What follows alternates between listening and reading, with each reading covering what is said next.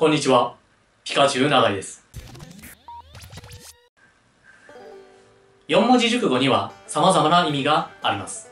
その意味を知ることで、少しだけ四文字熟語を覚えやすくしてみましょう。というわけで今回は、疑心暗鬼という四文字熟語です。疑心暗鬼。よく聞く言葉だとは思うんですが、これはどういう意味なんでしょうか？まず疑心。これは読んで字のごとく疑う心です。疑う心。そして暗鬼の暗は暗闇という意味を持っています。暗闇。そして鬼というのは鬼。